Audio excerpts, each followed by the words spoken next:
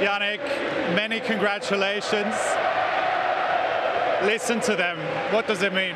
Yeah, it's amazing. I mean, it's uh, you know uh, very very you know uh, not even posi- uh, positive. It's just an amazing week for me. You know, it's the first first title in Italy, and um, it means so much to me. So I'm very very happy about that, and uh, you know, it's uh, it's something very very very special.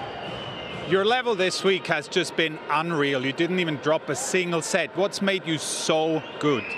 I don't know. I just try to understand, you know, whatever works best for each for each uh, opponent. You know, trying to play my best possible tennis I can, and yeah, that's I think was was the key. Obviously, you know, it was a very high level tournament from my side. You know, I so at times I couldn't play better, so I'm very happy.